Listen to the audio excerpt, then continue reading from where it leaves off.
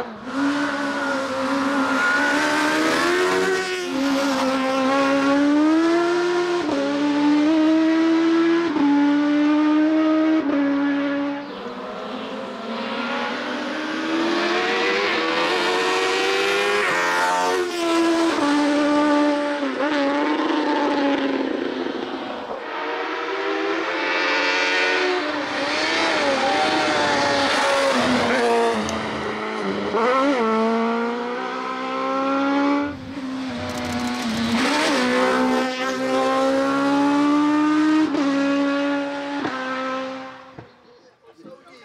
Opozdělci vítěz skupiny F Tomáš Pujman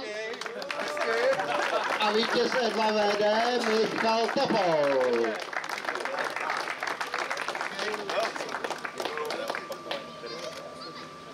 Pohár na půl, vole.